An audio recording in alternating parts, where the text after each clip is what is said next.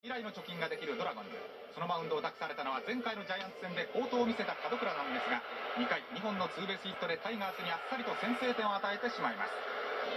1点を追うドラゴンズは3回ランナー1人を置いて山崎が真ん中のストレートをドンピシャリ。やっと出ました山崎の名古屋ドーム初アーチは第3号の逆転ツーランとなります。これで波に乗っていきたい門倉でしたが今日はどうしてもコントロールが定まりません。毎回のようにランナーを背負う苦しいピッチング。5回もヒットと自ら与えたフォアボールでツーアウト満塁のピンチ。それでもなんとか後続を打ち取ってフラフラながらも6回を1失点で切り抜けます。そして試合はこのまま8回。ランナーが1人出たところで星野監督は迷うことなく絶好調孫をマウンドへ送ります。今シーズン一度もリリーフを失敗していない孫はこの場面もゲッツーでくしゃ9回も0点に抑えて堂々の13セーブ目。星野監督に久しぶりの貯金をプレゼントしました。インダにあえぐタイガース。この暗い雰囲気を吹き飛ばしたのがこの人。4番檜山です。3回表カープ先発山崎のシンカーをパーフェクトに近い形で打てたという打球はライトスタンドに飛び込む6号ツーラン。打つべき人が打ってタイガース2点を先制します。これで波に乗ったタイガースは守備でも見せてくれます。5回ツーアウト2塁のピンチにセンター新庄のこのプレー。カープに得点を許しません。そして6回には当たっている6番星野がカープ3番手沢崎のストレートを叩いて1号ソロ。さらにこの回もう1点を追加してタイガースリードを広げます。一方タイガース先発の薮は6回カープ江藤に12号ツーランを浴びますがリズムのいいピッチングでカープ打線を7回まで2点に抑えマウンドを譲ります。この後タイガースは3人のピッチャーをつぎ込みカープの反撃をしのいでゲームセット。薮は嬉しい2勝目。タイガースも連敗脱出です。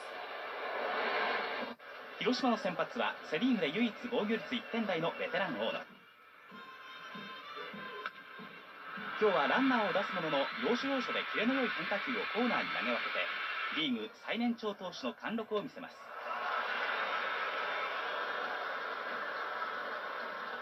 広島の打線も大野の好投に応えます。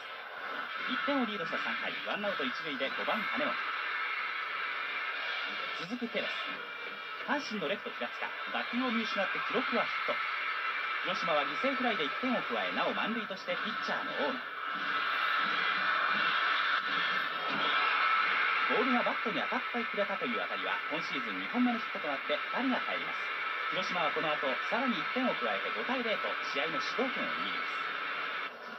追う阪神は5回ランナー1人を置いて打率1割台と低迷している7番ハイヤ高めのスライダーを叩いた打球がほぼ1ヶ月ぶりの8号ツーランホームラン。阪神5対2と追い上げます。しかし地元ファンの前で良いピッチングをしたかったという大野は7回ちょうど100球を投げたところでマウンドを降りましたが5勝目。大野の投打にわたる活躍で広島は再び貯金を1としましたカープの江藤は5月に入ってホームラン8本の量産体制です。頼むぞ江藤。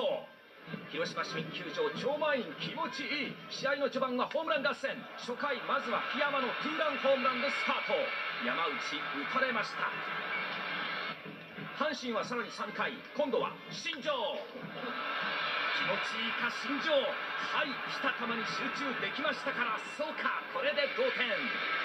一方の広島1回です。ランナー2人を置いてお待ちどうさまでした。江藤です。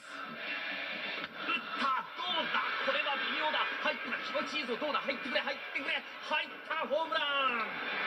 ここ10試合でなんと7ホーマー江藤さんグレード A 見てる？おめでとう。続く5番の金本も続きました。第14号のソロホームラン。バットを振り抜いたぜ。同点とされた4回広島ペレスです。明るい太陽の子が打ちました。おいペレス走らないと怒られるぞ。ええ。はい。とばかり急いでホームイン。これで逆転です。この回野村のタイムリーも出て6対4この後広島が守る守る。横山が3イニングをピシャリ。攻めのピッチングです。8回からはお待たせ笹岡。これまた気持ちいいピッチング。これで試合終了です。6回。越して借金4のタイガースは今日からのドラゴンズ戦が正念場。先発の竹内が2回パウエルに来日通算100号となる一発を浴び先制点を許してしまいます。タイガースも3回。ツーアウトから3連打で満塁とドラゴンズ先発の落合を攻めここでバッターは新庄。しかししかし落ちる球に三振。チャンスにタイムリーが出ないタイガース。今日も厳しい展開となりますが4回タイガースの梅さんこと平塚がストレートを狙い撃ち。まさか入るとは思わなかったという打球はバックスクリーンへ飛び込む6号ホームラン。平塚の一振りでタイガース同点に追いつきます。今日は最初から飛ばして一球一球全力で投げたという竹内は重いストレートとスライダーで3回以降はドラゴンズ打線をノーヒットに抑えます。そして迎えた8回タイガースはツーアウトからランナーを3塁に進め再び平塚。一二塁間を破る勝ち越しタイムリー。梅さんが男を挙げました。この後さらに1点を加えたタイガースは9回田村が締めて甲子園でドラゴンズ戦初勝利。とにかく平塚がよく打ったと吉田監督。嬉しい連敗ストップです。先発小池から打ったヒットは2試合でわずかに3本のみ。白星を2つもプレゼントして苦手意識が心配なタイガースでしたが今日は違います。まずは関川が2回に先制タイムリー。和田も続いてもう1点と2回途中で小池をノックアウトします。さらに久慈のタイムリーで4対0となった甲子園はトラファンがしびれてしまう最高の幕開けとなります。一方ドラゴンズ打線を立ち上がり完璧に抑えたタイガース先発の古溝は3回に山崎にホームランこそ打たれますが6回を投げて2失点とまずまずの内容でゲームをメイク後のマウンドを中継ぎ陣に託します。ところがところがタイガースは2番手伊藤が大ピンチ。満塁と攻められマンモス甲子園がどよめく中なんとピンチヒッター彦野に同点タイムリーを打たれてしまいます。こうなると息を吹き返すのが厳しいタイガース。貴重な先発陣の中からなんと川尻を中2日でスクランブル登板させますが8回ここまでノーヒットのゴメスの一振りに勝利をもぎ取られジ・エンド連勝はなりませんでした。強力助っ人パウエルに8号ツーランホームラン。1ヶ月ぶりの先発山崎はコントロールミスで2点を許してしまいます。ところが2回ホームランを打ったパウエルがごく平凡なフライを信じられない打球。これでバッターランナーが三塁に進み吉田。遅れながらも勢いを感じさせるバッティングでタイムリーヒット。1点を返します。